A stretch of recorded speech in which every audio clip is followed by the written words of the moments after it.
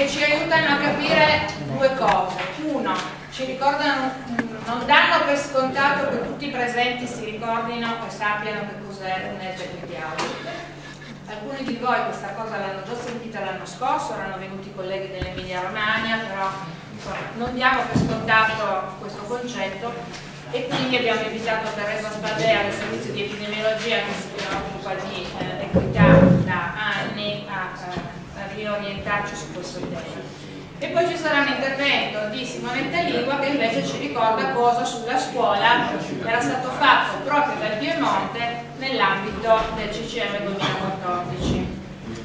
Dopodiché ci sarà dopo la pausa un grosso contenitore nel quale presentiamo dati sulla scuola e discutiamo con voi eh, di, di, quello che è la situazione del Piemonte. Quindi cominciamo a ragionare su eh,